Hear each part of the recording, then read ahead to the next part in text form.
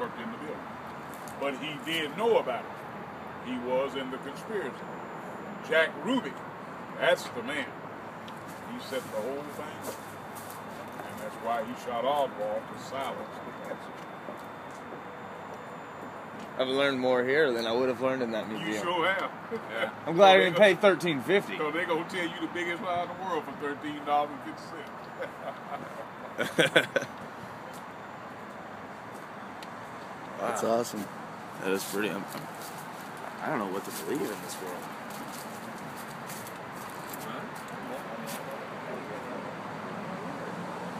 But I just find it weird that you're telling me that two dudes were standing here with guns while the president came through and nobody was like, hey man, put your rifle up. That's respect. I know. That's respect.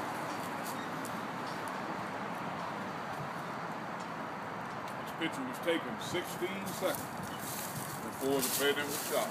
That's me in the red and white plaid shirt right there. Holy crap. Right there. Yes, sir.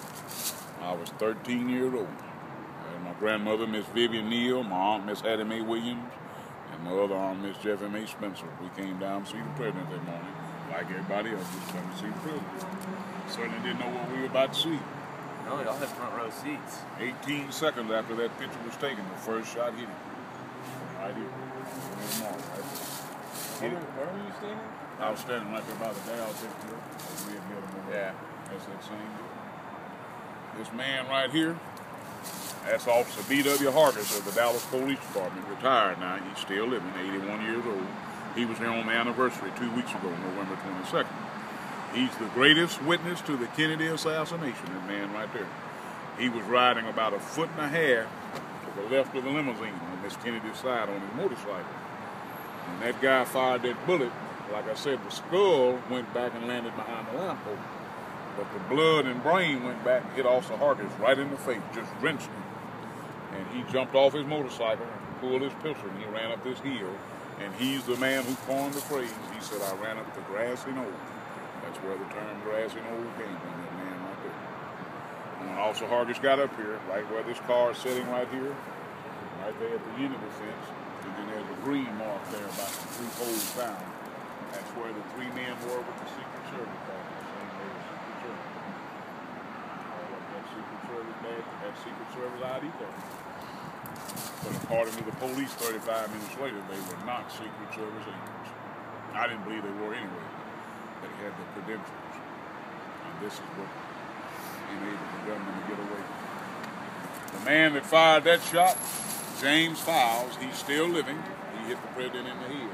He's in Stateville Prison, Joliet, Illinois. For the murder of three Chicago police